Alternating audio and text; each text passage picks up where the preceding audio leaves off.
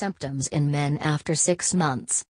As per various medical science reports, HIV in men, after six months, may advance in what is called later or acute stages of the infection. Nevertheless, this result can vary for different individuals. As per WHO's Global Summary Report compiled in December 2008, there are nearly 33 million people all across the globe who are living with HIV. Every year, nearly 2.7 million people get infected by this virus, and around 2 million die due to this global pandemic. HIV/AIDS poses one of the greatest threats to human health. Difficulty in diagnosing and treating AIDS, and late occurrence of the symptoms of HIV makes AIDS one of the most critical medical conditions that has ever plagued the human race. In fact, before AIDS develops in an individual, there is a period of time during which the HIV lies dormant in the body, and so, even an infected person is unable to realize whether he or she is carrying this virus or not. In several cases, people experience symptoms as soon as they become infected.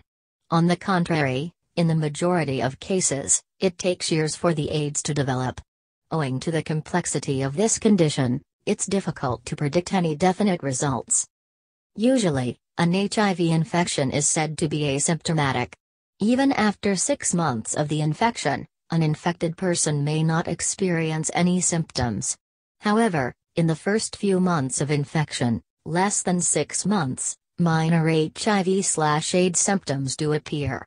Early signs of HIV, in men, may include, but are not restricted to extreme physical exhaustion, bruising, unexplained body rashes, and flu-like symptoms. Facts to know.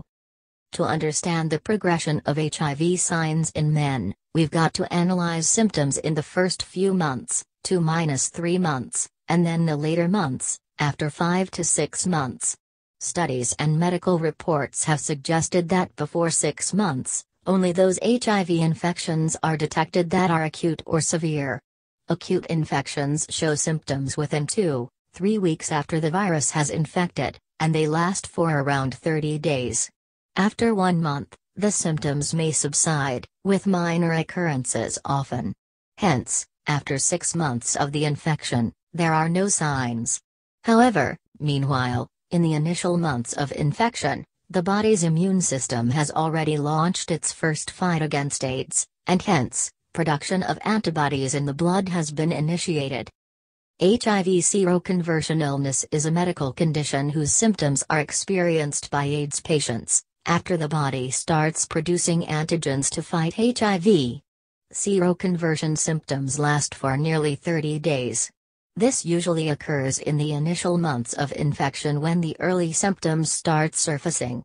Some of the most common symptoms in the first few months of infection, if the virus has infected, are sore throat, digestive problems, tiredness, rashes on skin, aches, pains, and swollen lymph nodes. Once seroconversion symptoms are observed for over a month, or few weeks, the disease advances into its most complex and longest stage, the asymptomatic stage, that is said to last for an average of 10 years. During these years, there will be no prominent symptoms of HIV/AIDS. One of the dangerous facts about AIDS is that, although during the asymptomatic stage there will be no symptoms, the virus can still be transferred from the infected person to another. Early diagnosis is the key for improving the life of an AIDS patient. Diagnosis of the symptoms in men after six months is fair. However, one has to put in extra efforts for preventing the aggravation of the disease in case it is detected after six months. Hence, the earlier AIDS is diagnosed, the better it is. In case the symptoms are observed after six months, then seeking medical testing and treatment is crucial. Remember, the earlier the treatment is started, lesser is the risk of further complications.